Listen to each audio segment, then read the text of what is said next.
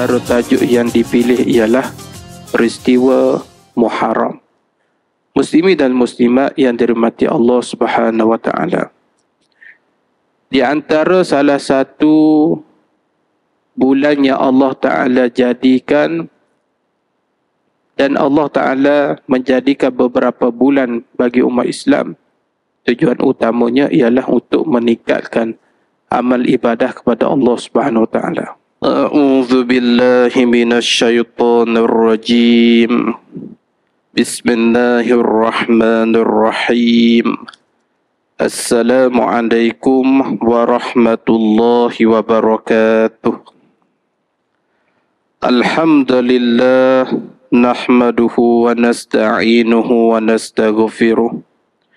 ونعوذ بالله من شرور أنفسنا ومن سيئات أعمالنا من يهد الله فلا مضل له ومن يضلل فلا هادي له أشهد أن لا إله إلا الله وحده لا شريك له وأشهد أن سيدنا محمدا عبده ورسوله رب اشرح لي صدري ويسر لي امري واحلل عقدة من لساني يفقه قولي سبحان الله والحمد لله ولا اله الا الله والله اكبر ولا حول ولا قوة الا بالله العلي العظيم العزيز العليم أدد كل حرف كتب ويكتب أبدا أبدين أبدا والدهر الداهدين. اللهم علمنا ما جهدت وذكرنا ما نسيت. ففحلناها سليما وكنا الحكم وعلما. وشخنا مع الهدى وسبحنا وطير فائلين. يا حي يا قيوم يا رب الموسى وحارون ورب الإبراهيم ورب المحمد صلى الله عليه وسلم. اللهم ارزقنا فهم والعلم والحكمة والعقل والحفظ برحمتك يا أرحم الراحمين اللهم فقهنا في الدين وعلمنا التأويل اللهم صل على سيدنا محمد وعلى آله وصحبه أجمعين أما بعد الحمد لله Bersyukur kita kepada Allah Subhanahu wa taala dengan mengucapkan alhamdulillahirabbil alamin. Salawat dan salam ke atas baginda ucapan Allahumma salli ala sayyidina Muhammad wa ala ali sayyidina Muhammad. Moga-moga kita semua pada pagi ini semoga dimuliakan oleh Allah Subhanahu wa taala. Amin ya rabbal alamin. Pertama kali yang dihormati seluruh saf jawatan kuasa masjid dan tidak lupa kepada seluruh kaum muslimi dan muslimat yang memilih masjid ini untuk kita sama-sama menunaikan solat secara berjemaah diteruskan dengan kuliahnya. Jadi kita harapkan apa sahaja kebaikan yang kita lakukan selama ini sebelum ini dan sekarang dan akan datang Semoga Allah Ta'ala jadikan kebaikan ini sebagai pahala dan dibawa di akhirat nanti insyaAllah. Amin. Ya Rabbal Alamin. Alhamdulillah pada pertemuan kuliah subuh pada pagi ini antara tajuk yang dipilih ialah peristiwa Muharram. Muslimi dan muslimat yang dirahmati Allah Subhanahu wa taala. Di antara salah satu bulan yang Allah Ta'ala jadikan dan Allah Ta'ala menjadikan beberapa bulan bagi umat Islam. Tujuan utamanya ialah untuk meningkatkan amal ibadah kepada Allah Subhanahu Wa Ta'ala. Dan ada bentuk ibadat dalam bangsa uh, bulan-bulan tertentu. Contohnya seperti mana? Bulan haji. Ha, maka diistilahkan berlaku pada bulan Zulhijjah. Seperti juga bulan dikatakan ibadat puasa hanya berlaku puasa di bulan Ramadan. Jadi kenapakah Allah Ta'ala jadikan amal ibadat itu di antara bulan-bulan tertentu? Kerana tidak lain tidak bukan ialah Allah Subhanahu Ta'ala ingin kita sebagai manusia, sebagai orang beriman dapat menambahkan amal ibadah pada bulan tersebut. Maka apabila kita berada di bulan Muharram adalah satu bulan Arba'atul Hurum. Antara empat bulan yang diharamkan. Iaitu diharam daripada mengadakan peperangan. Jadi sebenarnya bulan Muharram adalah satu bulan yang cukup mulia di sisi Allah Subhanahu Taala. Kerana di bulan ini banyak peristiwa-peristiwa penting ia berlaku bagi para nabi, para rasul dan juga umat Islam. Dan kita kena ingat bahawasanya bulan Muharram bukannya bulan yang buruk. Bukan bulan yang nahas, bukan bulan yang bala. Jangan kita menganggap bila masuk saja bulan Muharram, dianggap sebagai bulan yang mendatangkan bala. Ada setengah masyarakat kita menganggap begitu. Bila masuknya bulan Muharram, dianggap sebagai bulan buruk, bulan nahas, bulan sial dan sebagainya. Ha, tidak. Sebenarnya di dalam Islam tidak ada hari buruk. Dalam Islam tidak ada hari buruk. Hari sial, hari nahas di dalam Islam. Ha? Apa itu bulan Muharram? Iaitu hari-hari lebih utama. Dalam Islam hanya ada hari-hari utama nah, daripada hari-hari lain. Cumanya dibanding dengan hari lain ada hari yang lebih utama. Itu ada dalam Islam. Contohnya seperti hari Jumaat. Ialah dipanggil Sayyidul Ayyam. Penghulu bagi segala hari-hari yang lain. Ataupun hari Isni dan Khamis. Dia mempunyai juga keistimewaan sendiri. Kerana hari Isni ialah hari kelahiran Nabi SAW. Dan juga wahyu diturunkan. Sebab itu istimewanya hari Isni dan Khamis. Dan bulan Ramadan kelebihannya pun banyak juga. Iaitu istimewanya bulan Ramadan adanya Lailatul Qadr khairu min alfi syahr. Ada satu malam lebih baik daripada seribu bulan. Dan juga hari Arafah. Itu antara hari istimewa dipanggil hari Arafah. Dan juga bila masuk bulan Muharram istimewanya ada dikatakan hari Ashura. Ha tu mempunyai keistimewaan sendiri. Dalam Islam, hari istimewa ada. Tetapi hari nahas, hari buruk, hari celaka, hari pala, itu tidak ada dalam Islam. Nah? Begitulah secara rekasnya berlaku pada tiap-tiap bulan, bahkan pada saat-saat tertentu sehari dan juga ada kelebihan yang tersendiri. Dan apa yang berlaku ni ada kelebihan tersendiri. Nah? Uh, tetapi tidak adalah di dalam Islam dikatakan uh, waktu yang berlaku itu adanya nahas, celaka dan sebagainya. Kerana apa? Kerana sebab itulah perlu kepada pendidikan dakwah Islamiah. Uh, kerana Ibnu Majah daripada sunnah meriwayatkan bahawasanya daripada riwayat Ibnu Majah ani Ibnu Abbas qala kata Ibnu Abbas radhiyallahu anhu qala Rasulullah sallallahu alaihi wasallam Nabi kata apa dia? La adwa wala tiyarata wala hamata wala safara.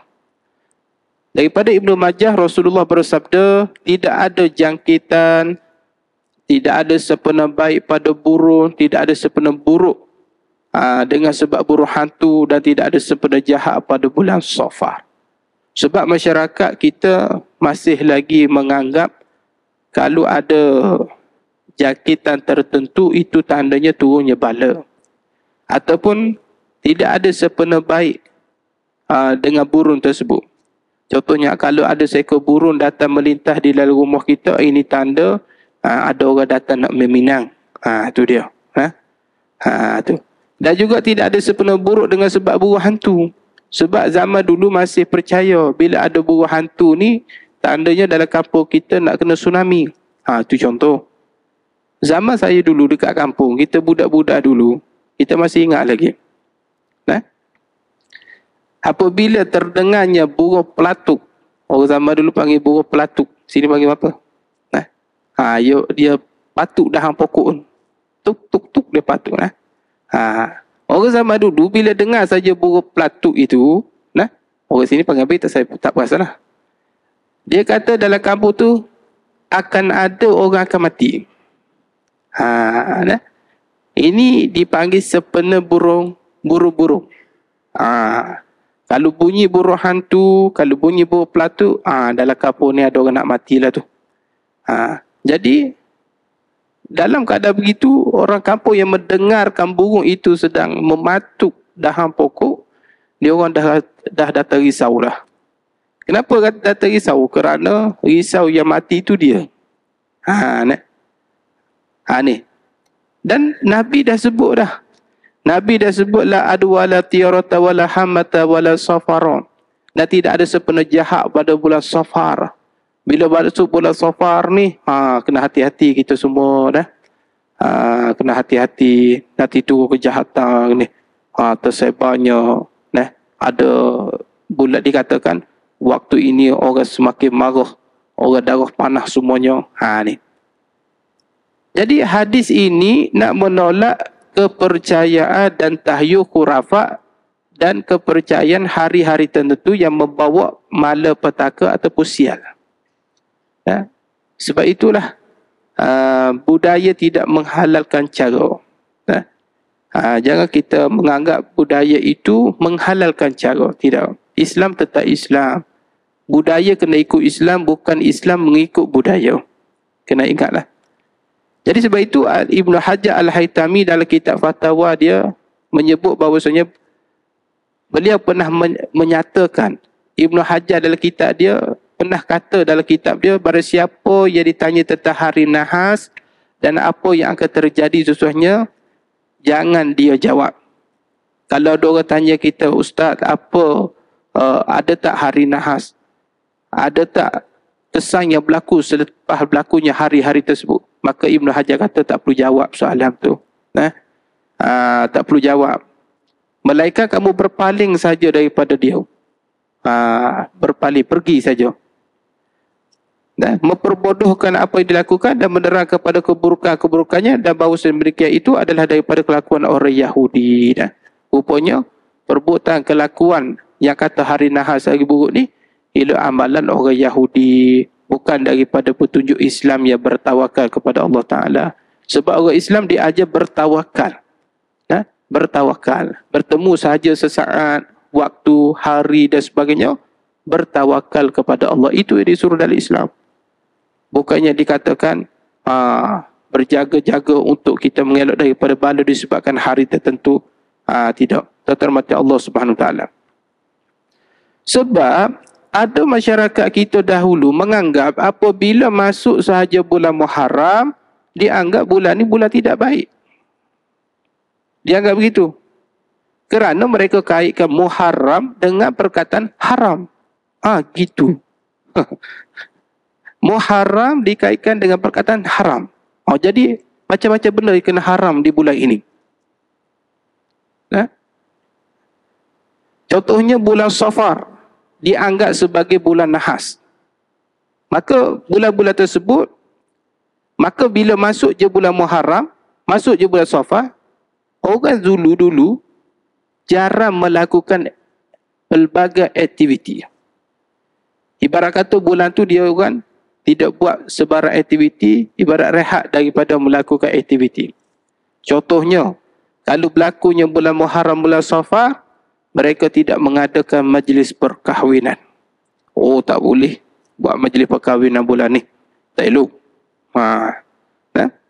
Ataupun mereka tidak bina rumah pada bulan tersebut. Dia kata bulan Muharram lah Safar jangan buat rumah. Ha, nanti nanti ada perkara buruk lah akan berlaku. Mereka tidak mengadakan perkahwinan, tidak bina rumah. Ha? Tapi semua tu telah berubah apabila datangnya Islam. Bila datangnya Islam, kerana Islam mengajarkan bulan Muharram merupakan salah satu daripada empat bulan. Zulkaidah, Zulhijjah, Muharram, Rejab. Arba'atu hurum. Yang mana empat bulan ini adalah bulan yang dihormati. Nah? Dan kerana apa bulan ini dipanggil bulan haram? Kerana bulan ini ditegah daripada berperang. Ha, tu. Kerana Zulhijjah, uh, Zulkaidah Muharram, tiga bulan ini ialah bulan yang khas untuk kita mengerjakan haji. Zulkaidah, Zulhijjah, Muharram. Ialah bulan yang khas untuk kita uh, mengerjakan haji. Nah. Adapun bulan Zulkaidah dipanggil bulan persiapan untuk kita pergi mengerjakan haji. Bulan Zulhijjah ialah bulan pergi mengerjakan haji. Dan bulan Muharram adalah bulan dikatakan bulan perjalanan bulan daripada mengerjakan haji. Lepas tu tiga bulan tadi dianggap sebagai bulan bulan mengerjakan haji. Nah, baik. Jadi oleh itu tuan mati Allah Subhanahu Wa Taala di dalam Islam mengajarkan bahawa bulan Muharram ini terdapat peristiwa-peristiwa penting yang berlaku. Di antara peristiwa yang berlaku di bulan Muharram ialah peristiwa Nabi Adam alaihissalam.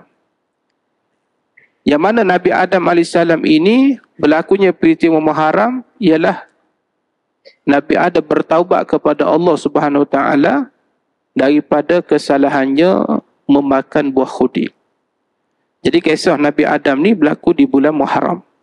Jadi Nabi Adam bertaubat kepada Allah selama 40 tahun kata ulama menyesali kesilapannya. Nah, dan Nabi Adam bertaubat kepada Allah dengan membaca zikir zalamna anfusana wa illam taghfir lana wa tarhamna lanakunanna minal khasirin. Itu orang panggil doa istighfar Nabi Adam. Jadi oleh itu di antara amalan yang boleh kita lakukan di bulan Muharram ialah banyakkan istighfar pada Allah Taala. Apa peristiwa Nabi Adam? Yaitu Nabi Adam memakan buah khudi, satu pohon yang ditegah oleh Allah makan di dalam syurga. Tapi disebabkan godaan iblis, godaan syaitan, maka termakan juga Nabi Adam AS buah tersebut. Ha? Mula-mula iblis pergi goda siapa? Pergi goda Hawa. Siti Hawa. Ha? Maka dia suruh Siti Hawa ni pergi goda Nabi Adam, pergi makan buah yang ditegah oleh Allah. Sebab Allah Ta'ala kata, Wahai Adam, kamu nak duduk dalam syurga, duduklah. Nak makan apa, makanlah. Nak minum apa, minumlah. Tapi satu je aku minta jangan mendekati pohon khudi. Itu saja. Tapi disebabkan iblis. Iblis ni penduduk syurga juga pada asalnya. Dan iblis ini memang dia menganggap manusia sebagai musuh dia. Ha? Ha, kerana ketika mana dijadikan Nabi Adam, Allah panggil antara malaikat dengan iblis. Pada waktu itu Allah nak announcement, nak kata aku nak buat manusia namanya Adam. Jadi iblis dan malaikat ni tanya, "Ma yufsidu fiha wa yasfiku dima?" Ya Allah buat apa kamu buat Adam ni? Cukup kami malaikat dengan iblis sajalah. Sembahmu ya Allah tak perlu nak buat Adam. Eh? Kata Allah ada hikmah di sebalik ciptaan aku. Maka malaikat pun samitna wa ata'na. Malaikat patuh dengan perintah Allah. Tetapi ada pun iblis dia kata ana khairim minhu. Buat apa aku sembah Adam? Sedangkan aku lebih baik daripada Adam. Ha, ini perkataan sombong. Jadi disebabkan perkataan ana khairim minhu yang dikatakan oleh iblis Allah cukup melaknat perkataan ini. Allah Ta'ala pun keluarkan iblis daripada syurga dan dijauhi daripada rahmat selama-lamanya dan apabila iblis dihantar ke dunia jatuh saja iblis ke dunia, terus dia bangkit bercekok pinggan. Dalam riwayat kata, bangkit bercekok pinggan. Sebab itu, perbuatan bercekok pinggan ini, hukumnya makruh. Kerana bercekok pinggan ini, kata ulama, satu perbuatan iblis yang selepas jatuh ke bumi, dia bangkit terus bercekok pinggan, dia kata, mana manusia? Nah, sebab dia berjanji dengan qala fa bima aghnayta udu talahum siratal mustaqim. Mana manusia? aku akan goda Adam dan keturunannya daripada jalan yang lurus. Oh, sambil dia keluar daripada syurga, jatuh ke dunia, masih sombong lagi. Dia berjanji dengan Allah, aku akan goda Adam dan keturunannya daripada jalan yang lurus. Dia pun bangkit bercakap pinggan. Ha. Yang kedua, perbuatan bercakap pinggan ini, kata ulama, ialah daripada perbuatan rehat bagi ahli neraka. Bila penat sangat ahli neraka kena azab, mereka berehat sambil bercekok pinggan. Sebab itu makruh perbuatan bercekok pinggan dan bercekok pinggan itu dipanggil perbuatan orang sombong. Eh? Ha, jangan pula depan orang sambil bercekok pinggan. Eh? Batu Superman dikatakan hero yang sombong. Eh? Superman. Eh? Dia turun daripada langit tu, turun bercakap pinggang. Aduh lah. Ha, turun lah. Ha, baik. Jadi dia goda Nabi Adam. Hebatnya godaan iblis, dia boleh keluarkan tok kita dulu anak Adam daripada syurga dihantar ke dunia. Apatah lagi kita cak ayam. Kita ni cak ayam ni lagilah tergoda dengan iblis. Kerana apa? Kerana dia boleh buat keluar Nabi Adam daripada syurga hantar ke dunia. Dan kata hebatnya godaan iblis ni. Sebab tu iblis dianggap sebagai tukang joget yang mengikut irama gendang. Tengok tukang joget. Orang menari dandu dah. Dia berjoget mengikut irama gendang. Kalau gendang bunyi begini, dia joget begitu. Kalau bergendang bunyi begini, dia tari dengan begitu. Iblis pun begitu. Iblis pun dia tengok di mana kita lemah, di situ dia masuk. Kalau kita lemah dengan harta, dia goda dengan harta. Kalau lemah dengan pangkat, dia goda dengan pangkat.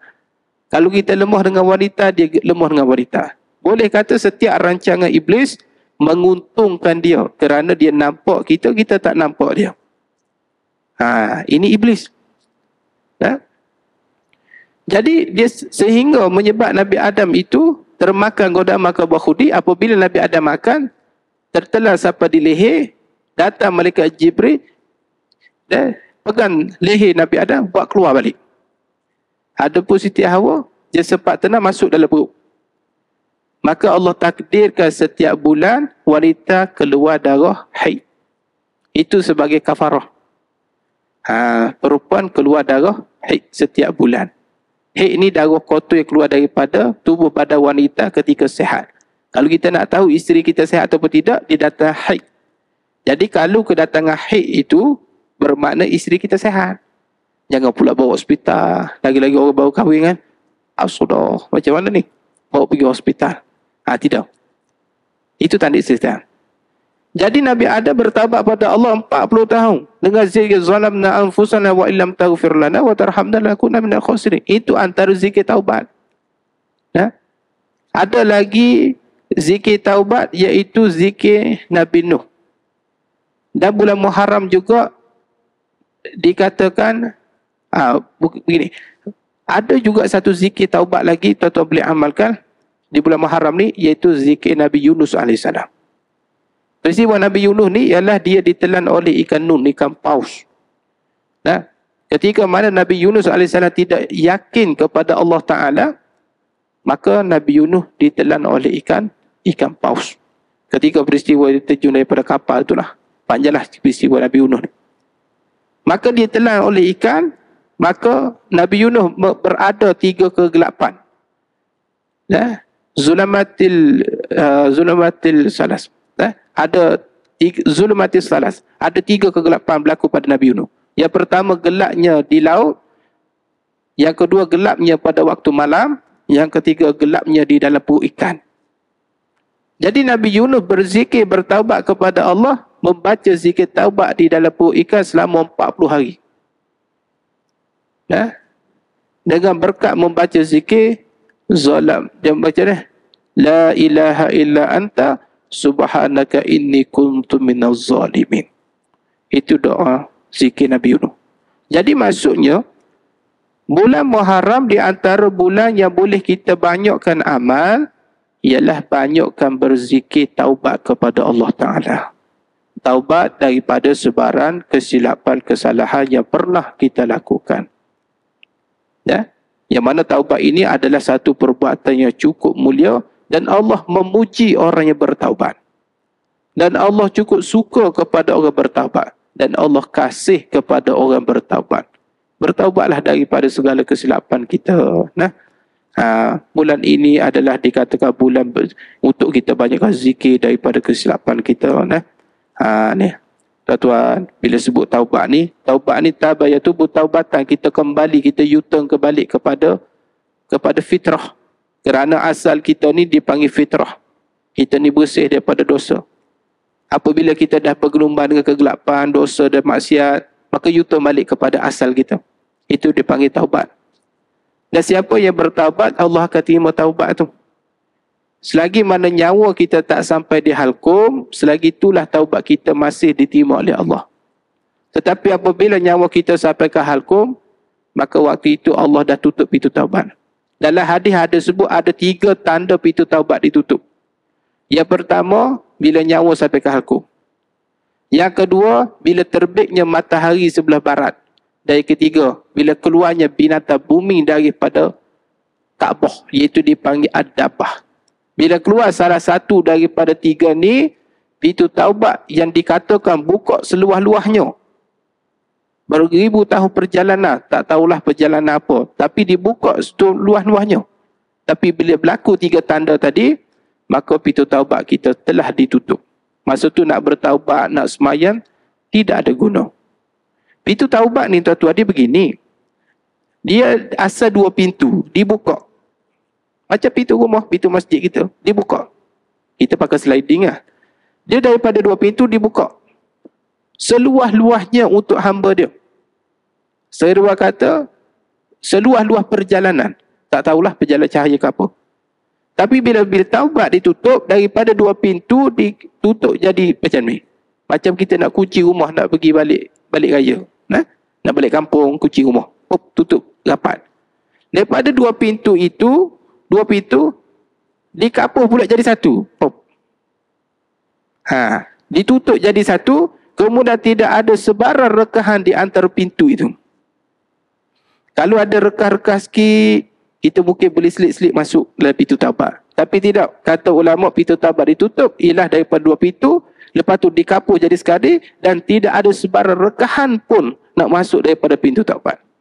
Nak katanya waktu itu memang dah ditutup dah. Ha? Jadi sebab itulah daripada kesilapan yang kita lakukan, bertaubat kepada Allah, kembali kepada landasan yang sebenar. Nah? Iaitu taubatan nasuha. Nah? Bagaimana taubat yang paling berkesan?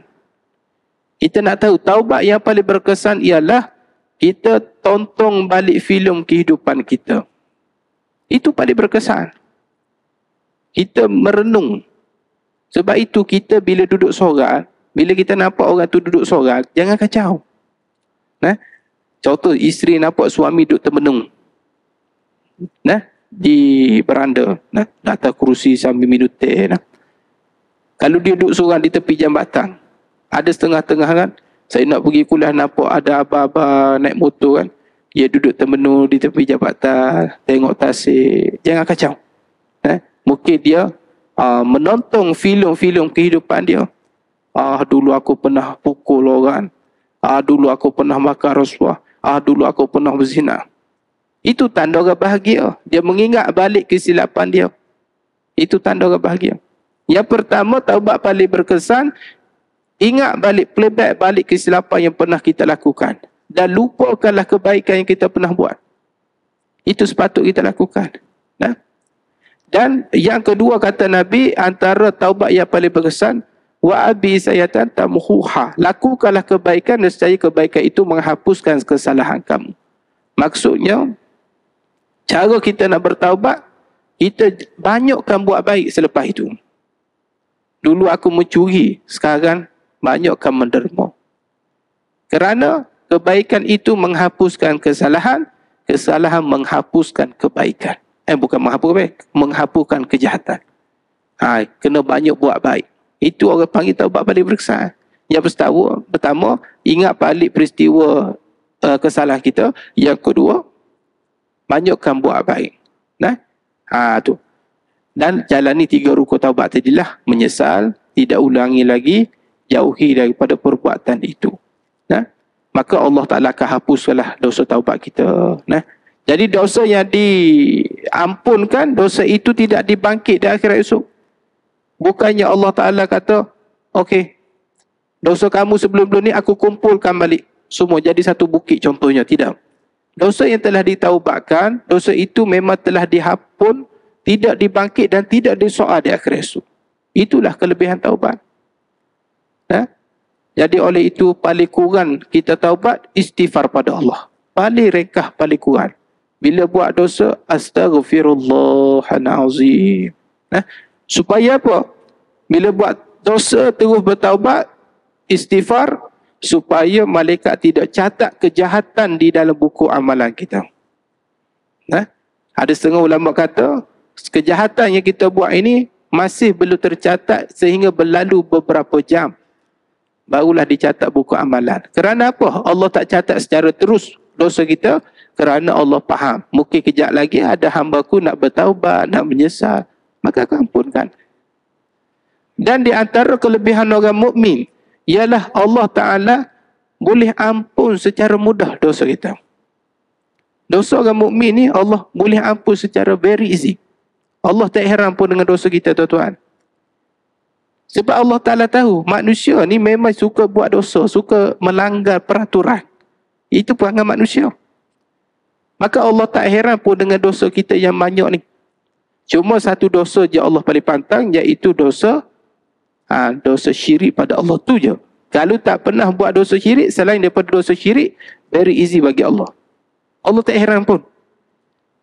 Tetapi Allah paling heran, kenapa kamu tak minta ampun dengan aku? Ha, yang tu Allah paling heran tu. Aku tu kan bagi pengampun, kenapa tak minta ampun dengan aku? Berat sangat kita mulut untuk meminta ampun kepada Allah. Sedangkan Allah suka kalau kamu datang kepada aku, aku datang kepada kamu. Nah, Inna Allah ghafurur rahim. Sesungguhnya Allah subhanahu ta'ala ini maha pengampun. Penuh naik dosa kita, keampunan lebih besar daripada dosa kita lagi.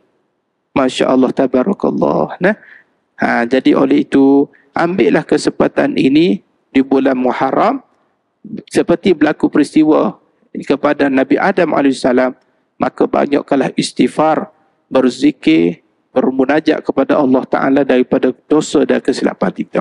Baik. Yang kedua, bulan Muharram juga berlakunya peristiwa Nabi Nuh AS. Di bulan Muharram berlaku peristiwa Nabi Nuh AS yang mana dia keluar dari perahu dia setelah mana bumi itu tergelam selama enam bulan. Jadi bumi tergelam selama enam bulan datang banjir besar. Apa yang berlaku peristiwa Nabi Nuh AS begini. Ketika Nabi Nuh berdakwah kepada umat dia. Pada pada waktu itu umat dia degil dan kurang hajau. Bila Nabi Nuh buat kapal, dia kata, Hei Nuh, buat apa buat kapal dalam hutang? Nuh, pergi buat kapal dalam laut. Dah gila ke Nuh ni? Ha, tengok. Dah lah Nabi Nuh berdakwah, dia tak mau. Lepas tu pula kata Nabi Nuh ni dah gila. Jadi Nabi Nuh AS bila tak tahan dengan dengan degilnya umat dia dengan dakwah Nabi Nuh, akhirnya Nabi Nuh berdoa kepada Allah supaya eh, dihukumkan kepada mereka ni. Maka Nabi Nuh pun buat kapal. Allah Ta'ala perintah Nabi Nuh pergi buat kapal. Nah, Nabi Nuh tanya nak buat kapal daripada apa? Ha. Buat daripada kayu. Dia pun pergi ambil kayu nah, buat kapal. Sambil buat kapal tu, umat dia ni yang degil ni, dia marah sangat kepada Nabi Nuh sehingga dia pergi buat najis dekat kapal Nabi Nuh AS. Pergi buat najis. Sehingga ada umat Nabi Nuh yang buta. Ada angin juga nak pergi buat najis dekat kapal Nabi Nuh. Dalam duk buta tu, merayap-merayap pegang sana pegang sini. Nah, sambil berjalan tu, sampailah di kapal Nabi Nuh. Bila sampai di kapal Nabi Nuh, terpegang satu kayu, satu satu dinding, aa, ah, satu tembok. Akhirnya terlicin, terpijak najis kawan-kawan dia. Terpijak, jatuh. Dan tangan dia melekat najis. Dia pun sapu kat muka, dekat mata. Tengok-tengok sembuh mata dia tu. Ha? Ha, sembuh. Ha, ini ubat mujarab ni, dia kata. Ha? Ha, dia pun beritahu Enosbor kepada kawan-kawan dia. Dia pun balik kepada kawan-kawan dia. Dia kata, hei, aku tak buta dah. Eh betul lah kamu tak buta. Ya, sebelum ni kamu buta. Ya, sekarang aku tak buta. Eh, apa yang kamu buat? Tak ada, tak ada. Ada ubat mujarab dekat kapal Nabi Nuh. Pergi-pergi, ada lagi. Eh? Maka Allah Ta'ala pun hinakan balik umat Nabi Nuh dengan cara dia orang pun ramai-ramai berbondong-bondong pergi ke kapal Nabi Nuh nak ambil ubat mujarab. Oh, dia orang ambil. Pasal boleh menyembuhkan buta. Ah, ini mujarab dia kata. Ah, pergi-pergi. Habis semua umat dia pergi sehingga tidak ada satu pun najis yang melekat pada kapal Nabi Nuh yang duk berair berair pun habis kasih kasihlah babi nah ha, Allah hinakan balik umat dia dengan ha, najis Jadi setelah itu apabila datangnya banjir yang besar, maka Nabi Nuh pun naik ke kapal. Nah, naik ke kapal, berlakulah banjir selama enam bulan kata ulama peristiwa Nabi Nuh AS. Itu berlaku di bulan Muharram. Dan yang ketiga, peristiwa yang berlaku di bulan Muharram iaitu peristiwa Nabi Idris AS yang diangkat oleh Allah ke tempat yang tertinggi. Dan keempat, bulan Muharram juga berlakunya peristiwa Nabi Ibrahim AS. Kerana Nabi Ibrahim ini berlaku peristiwa diselamatkan oleh Allah daripada raja yang zalim iaitu pada raja Namrud.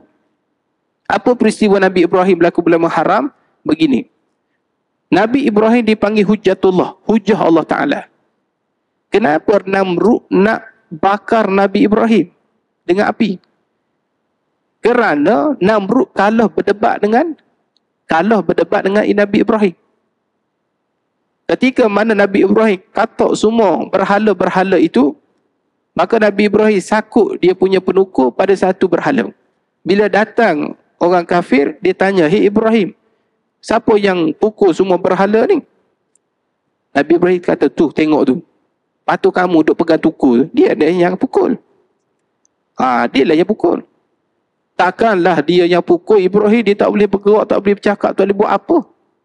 Nabi Ibrahim kata, habis yang kamu duk sembah dia tu kenapa?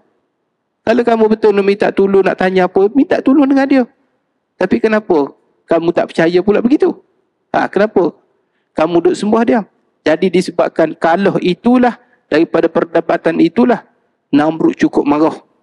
Akhirnya, dia bakar, dia letak satu bara api yang besar. Ha? Ha, dia pun lontar Nabi Ibrahim dengan lastik.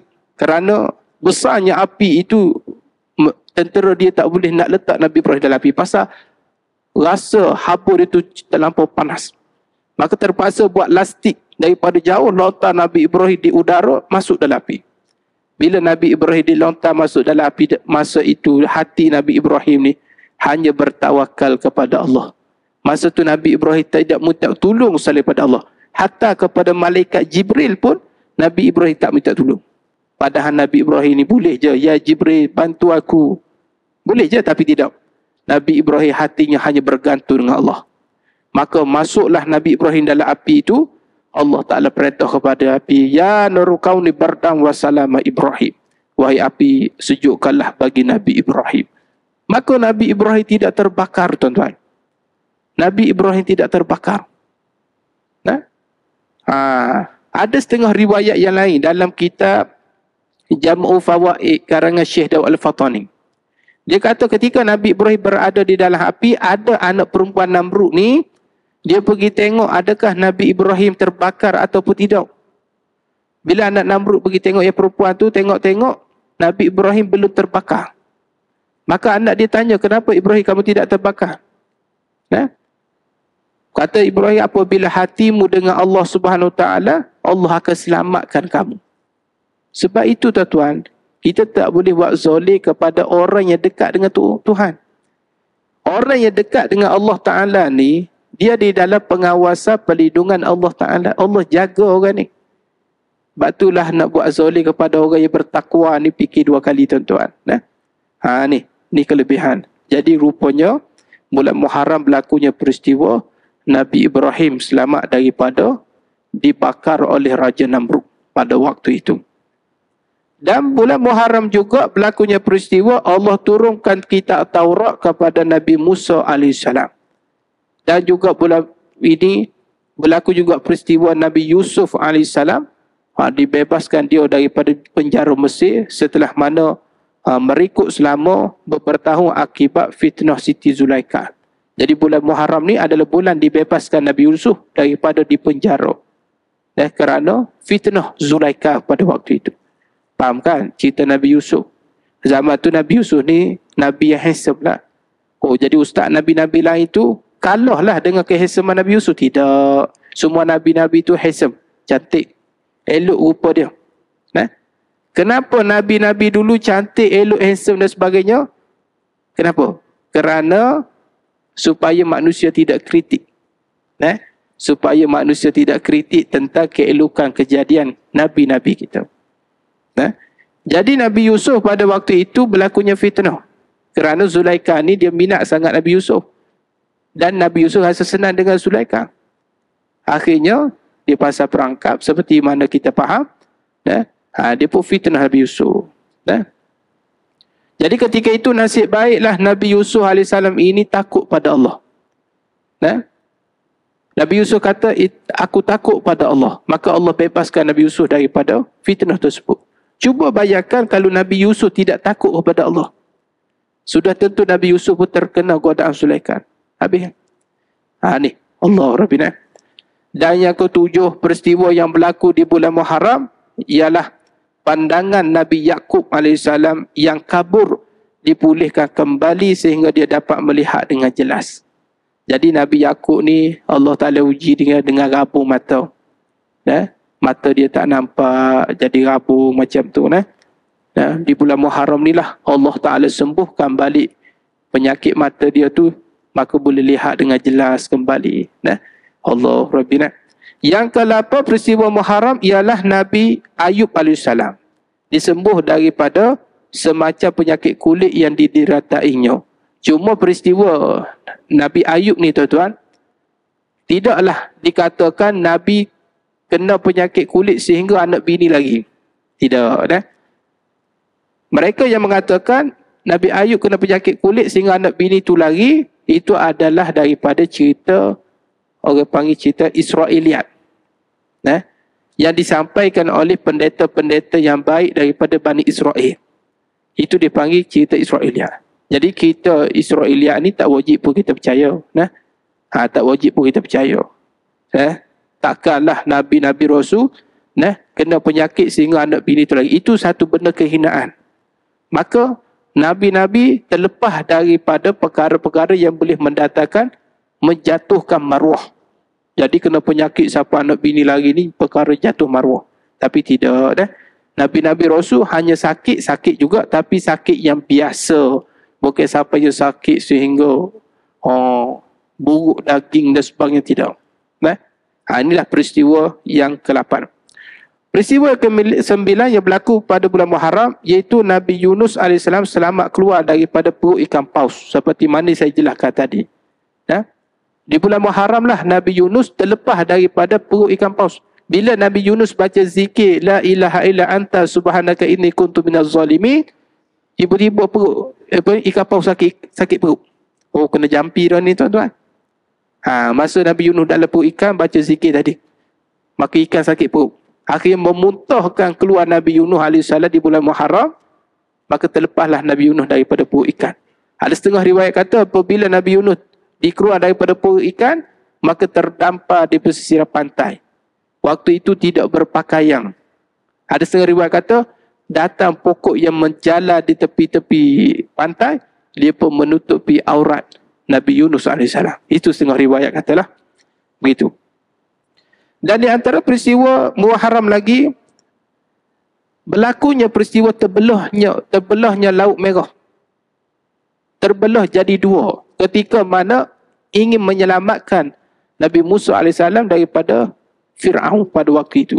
Berlaku juga pada bulan Muharram. Peristiwa terbelah laut. Nah, ini antara mujizat Nabi-Nabi dahulu. Ya Allah Ta'ala nak selamatkan Nabi itu. Nah, ha, tu. Hari apakah Fir'aun tergelam? Hari apakah Fir'aun tergelam di dalam laut? Iaitu hari Ashura sepuluh daripada bulan Muharram. Berlaku juga pada bulan Muharram. Fir'aun tenggelam di dalam laut tersebut. Nah, ha, peristiwa belah laut pun berlaku pada hari uh, Muharram, bulan Muharram dan Fir'aun tenggelam pun pada bulan Muharram juga. Dan ke sebelah antara peristiwa yang berlaku di bulan Muharram pun dia iaitu kesalahan Nabi Daud AS diampunkan oleh Allah Subhanahu Wa Taala. Dan 12 peristiwa Nabi Sulaiman AS mendapat satu sebuah kerajaan yang besar pun berlaku bulan Muharram. Allah Ta'ala beri kerajaan besar kepada Nabi Sulaiman. Kita tahu Nabi Sulaiman ni Nabi yang menguasai beberapa jajaran. Mendapat satu kerajaan yang besar. Sehingga dikatakan dia boleh bercakap dengan binatang. Nah? Ha, sehingga dia boleh bercakap dengan binatang. Dia boleh tahu semut duk bercakap apa. Nah? Ha, jadi suka Nabi Sulaiman AS. Dia boleh perintah jin, dia boleh perintah angin. Ha, ini peristiwa Nabi Sulaiman AS. Dan ke-13, peristiwa yang berlaku bulan Muharram ialah hari pertama yang Allah Ta'ala menciptakan alam. Bulan Muharram juga berlaku hari pertama Allah ciptakan alam. Bumi ni. Langit bumi ni. Tuan-tuan tahu tak alam ni dicipta bagaimana? Bumi ni dicipta bagaimana? Begini. Dalam tafsir Quran menyebut asal usul bumi ni dicipta di atas air. Ha, ni tengok balik dalam tafsir Quran. Batu kita ni penuh dengan air. Bumi ni asal dicipta dengan air. Allah Ta'ala kata di Quran, aku hamparkan bumi ni. Asal daripada benda yang bertokok, Allah hamparkan seperti hampa tika. Buka. Tiba-tiba, letak atas air. Beralung.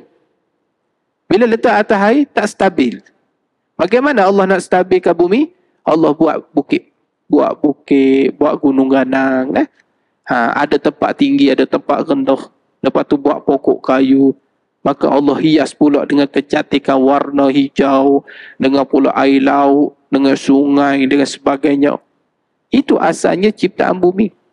Maka dicipta, iaitu penciptaan alam ini yang pertama pada bulan Muharram. Ha, rujuk balik pada tafsir lah mengenai peristiwa kejadian alam ini. Dan Peristiwa Muharram juga berlakunya hari pertama Allah menurunkan rahmat. Satu hari pertama yang Allah Ta'ala buat alam. Yang kedua, hari pertama Allah turunkan rahmat. Nah, rahmat ni kasih sayang. Nah, dan ketiga, hari Allah turunkan hujan daripada langit pun berlaku di bulan Muharram. Hujan pertama yang turun daripada langit berlaku di bulan Muharram. Ha, bila orang tanya, bulan apakah hujan pertama diturun daripada langit. Iaitu di bulan Muharram. Eh? Dan bulan Muharram juga dikatakan bulan yang pertama Allah ciptakan arash. Hari ataupun bulan yang Allah ciptakan arash ialah pada bulan Muharram. Kenapa? Arash ni termasuk daripada makhluk Allah yang paling terbesar tuan-tuan.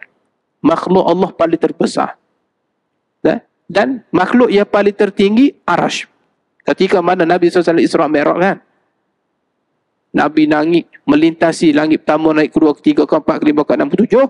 Naik lagi Rabbul Arba, naik lagi Sidratul Mutaha, naik lagi kursi, naik lagi arash. Arash tu paling tinggi. Dan arash ni dikatakan makhluk paling terbesar. Ya? Nak kata besarnya arash ni tuan-tuan, ulama buat banding. Bumi dengan kursi bumi ibarat seperti duit syilin 50 sen dan kursi ibarat seperti padang bola. Ambil duit syilin baling dekat padang bola. Itu perbandingan saiz bumi dengan kursi. Dan bandingan pula kursi dengan arash. Maka kursi dianggap seperti cicing. Cicing yang kita kahwin itulah. Seperti cicing dan arash ibarat seperti laut. Ambil cicing balik tengah laut. Besar tak arash? Besar. Jadi arash ni antara nah, antara makhluk Allah paling terbesar sekali. Nah. Dan dikatakan Allah duduk di atas arash. Tidak, Allah bukan duduk atas arash. Nah. Itu akidah ahli sunnah wal jemaah. Maka berkaitan arash ni bukannya Allah duduk menempat di arah. Oh, kalau tidak begitu Ustaz, peristiwa Isra' Mi'raj tu Nabi jumpa Allah di arash macam mana? Okey. Peristiwa Isra' wa Mi'raj Nabi berjumpa Allah di arash bukannya dinisbah kepada Allah duduk di arash. Yang kata duduk di arash peristiwa itu nisbah pada Nabi bukan kepada Allah. Cuma tempat perjumpaannya di arash. Bukannya Allah duduk di arash. Nah, bukannya kata Ar-Rahmanu ala ististawa Allah bersifat rahmat yang duduk di atas arah bukan. Nah, ada setengah pula kata duduk atas arah ustaz pasal duduk saya tanya duduk renggang kau duduk rapat. Dia kata duduk renggang bukan rapat. Arah bawah Allah di atas. Ha. Rapat kau renggang dia kata duduk renggang. Tuan-tuan, renggang rapat ni kena pada sifat makhluk. Dah? Ha. Bila salah faham, salah akidah. Itu bahayanya. Dah? Ha. Jadi, peristiwa yang dijadikan bulan Muharram, Allah jadikan arsh. Dan peristiwa juga berlaku di bulan Muharram ialah Allah menjadikan luh mahfuz pun di bulan Muharram juga. Ha, luh mahfuz. Nah, luh mahfuz ni luh, luh ni orang zaman dulu panggil luh. lus ni tulisan di papan. Ha, tulisan di papan telah dicatik. Tempat yang dicatat segala histori-histori kehidupan manusia. Semua benda ni telah dicatat di luh mahfuz. Nah? Ha, papan tulisan. Hakikat sebenarnya bagaimana? Wallahu'alam lah. Rupanya, semua perbuatan kita ni setelah dicatat oleh Allah SWT. Orang ni kahwin dengan siapa? Dia ni lahir laki ke perempuan? Akad lahir nama apa? Nah? Ha, kerana semua kehidupan kita telah diatur oleh Allah. Sebab tu orang yang orang yang uh, salafus soleh, orang yang tasawuf, dia kata apa dia? Bila dia kenal Allah, dia anggap dia ni sebagai pelakon saja. Pengarahnya Allah ibarat orang berlakon filem kan pengaruh Tuhan kita sebagai pelakon yang ikut arahan apa yang berlaku selepas ni? Allah semua dah atur dah. Ketika mana kita benih benih tu benih air mani diletak um, berdiam di dalam rahim perempuan. Pada waktu itu ada satu malaikat kata ulama malaikat rahim. Tugas dia jaga rahim perempuan.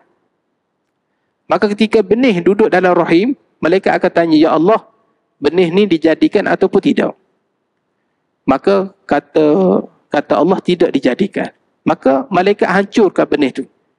Maka pada zahirnya kita nampak seperti berlaku keguguran, keluar darah. Eh?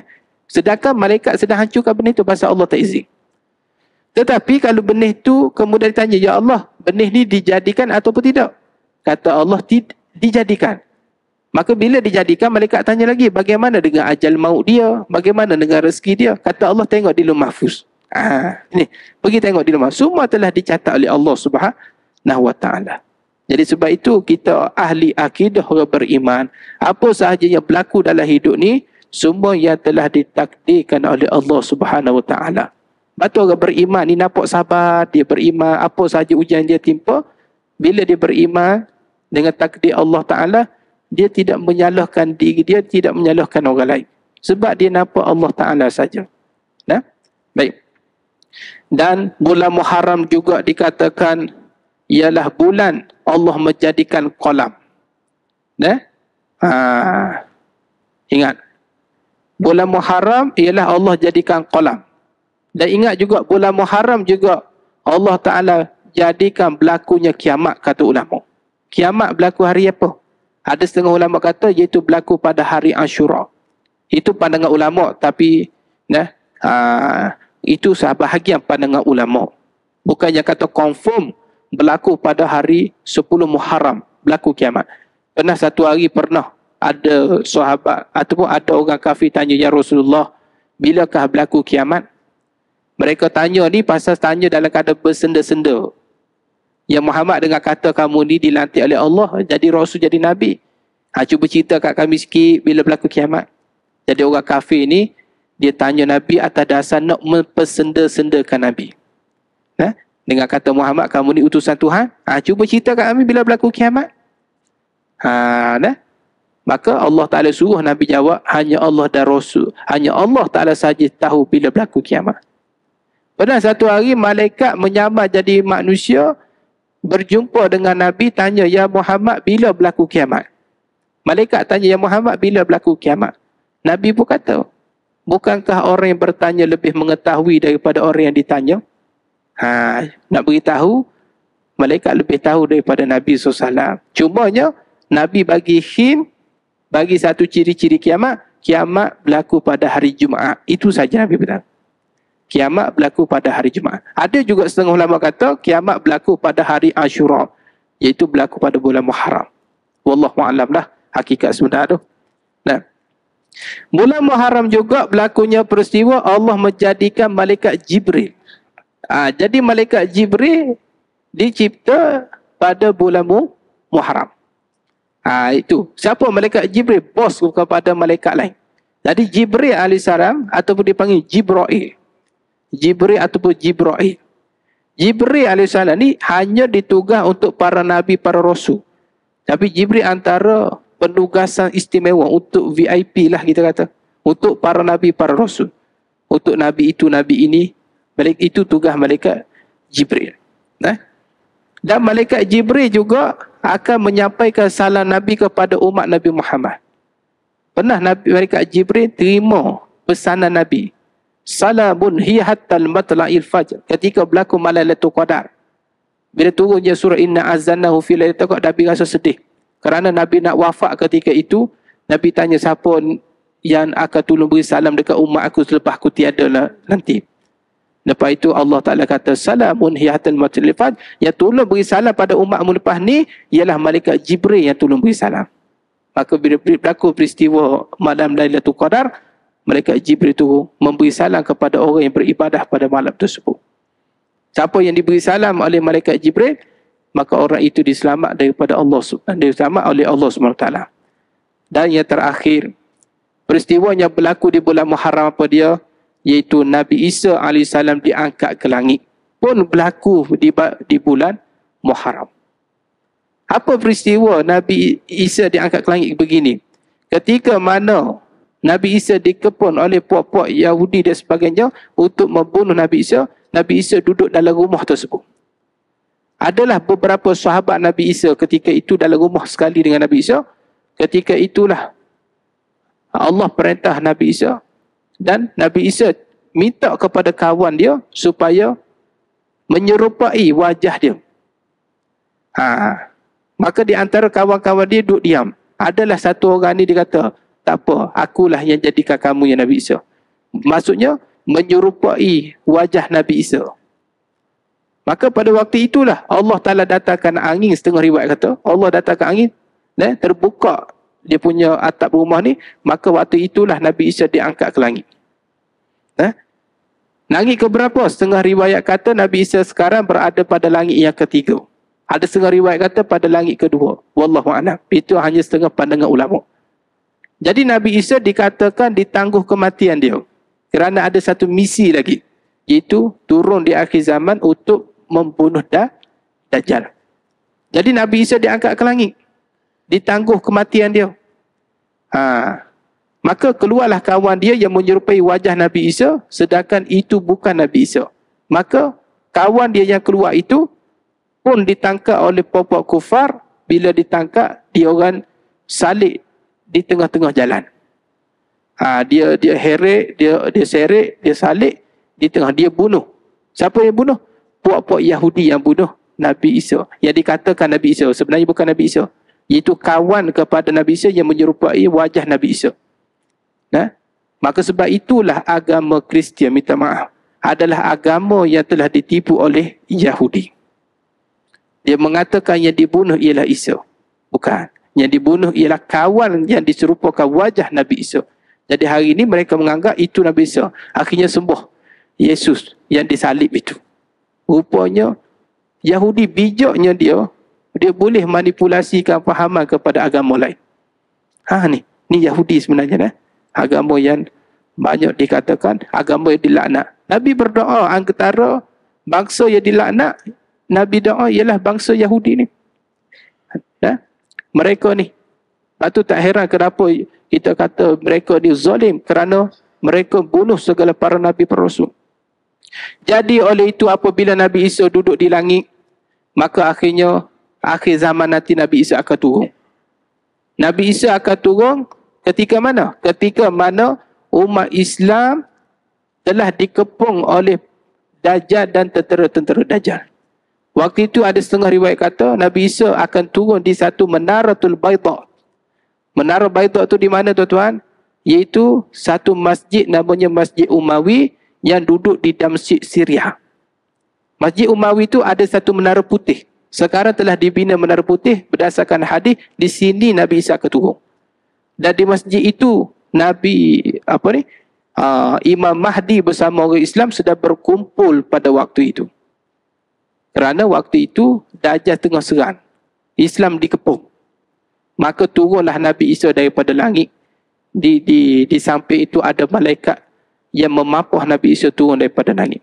Kata ulama Nabi Isa turun dalam keadaan ber, ber, uh, berpakaian turun dalam keadaan bermakai kain serban yang berwarna hijau. Uh, setengah riwayat kata dalam kitab akhir zaman lah. Dan rambut Nabi Isa ketika turun bertitih air.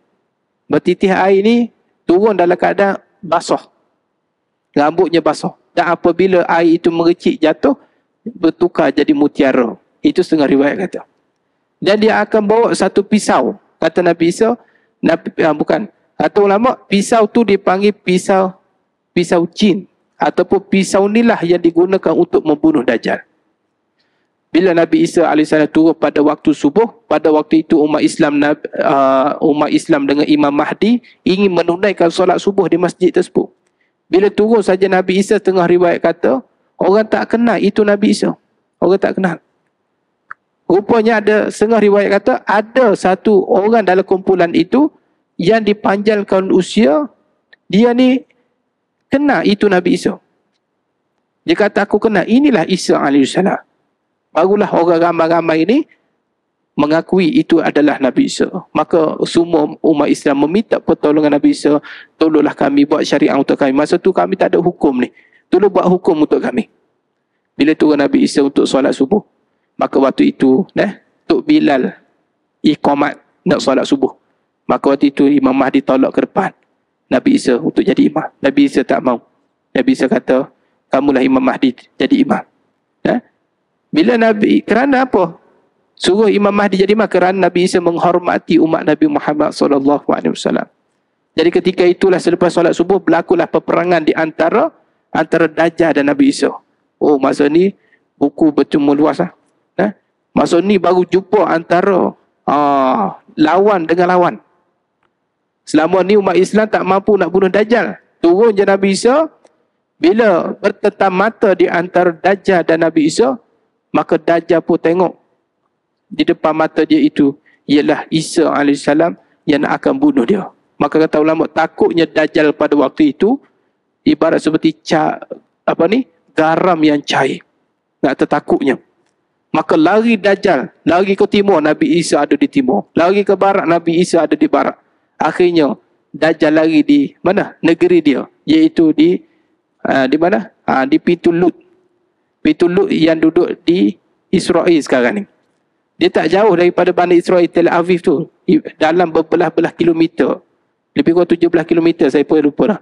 Ha, kota Lut tu lah. Bila sampai di situ, Nabi Isa di situ, Nabi Isa panding dia, apa ni, lontar dia punya lembing tu, pisau tu, tercucuk pada dada Dajjal, akhirnya Dajjal mati di pintu Lut tersebut.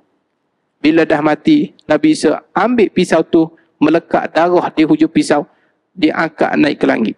Tunjuk kepada kaum muslimi, kenapa Nabi Isa angkat pisau ke langit? Kerana nak kata yang bunuh Dajjal hanya di tangan Nabi Isa bukan tangan orang lain. Maka itulah peristiwa Nabi Isa diangkat ke langit ialah pada peristiwa bulan Muharram. Allahu Rabbina.